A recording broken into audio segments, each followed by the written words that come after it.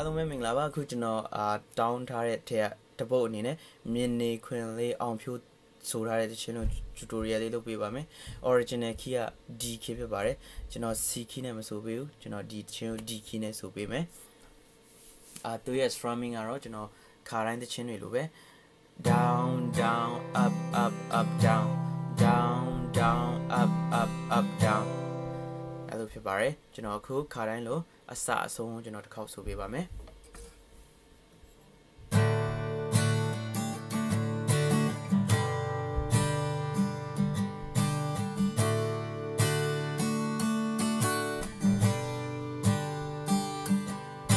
ဟိုဝေးကြီးကိုငေးကစိတ်တွေလေးလံနေခဲ့တယ်မင်းတီလိုက်ပေးယူခဲ့တဲ့နေရတို့တွေကကြေကွဲခဲ့မင်းရဲ့နာ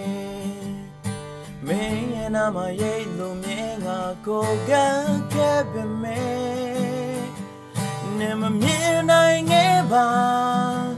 ငါမချင်ညာခဲ့တဲ့အချစ်ကိုအနည်းလေးရှိပေမဲ့အရင်ကုန်သမျှက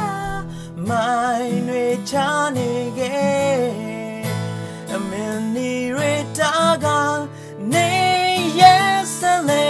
ငါချိန်တဲ့မြင်နေခွင်လေးပဲအမြင်နေခွင်လေးပဲနေတိုင်း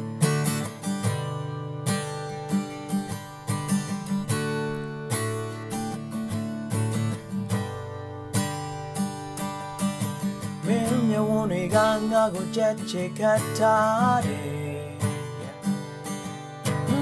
န်းတွေကငါကိုကြက်ချေခတ်ထားတယ်လာနဲ့စိတ်နဲ့ရရှိခဲ့မင်းပေးခဲ့စုအသုံးညာ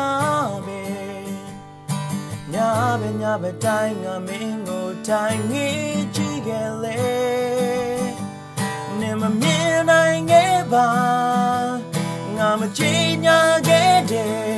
အချစ်ကိုအနည်းလေးရှိပေမဲ့အရင်ကုန်သမျှက မိုင်းတွေချနေခဲ့အမင်းနေရတာကနေရဲ့ဆလဲငါချိန်တဲ့မြင်နေ